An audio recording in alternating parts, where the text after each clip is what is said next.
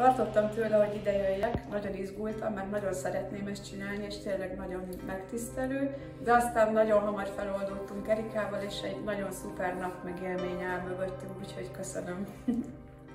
Szerintem nagyon alaposan elmagyarázták a dolgokat és a szakmai hátteret, és nagyon alaposan kigyakoroltatták velünk. Elméletben és gyakorlatban is.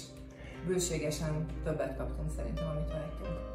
Most, igen, most egy picit még ugye homályos az egész oktatás, vagy az új anyag, vagy az új módszer, amit tanulunk, de nagyon szuper, nagyon szépen köszönjük.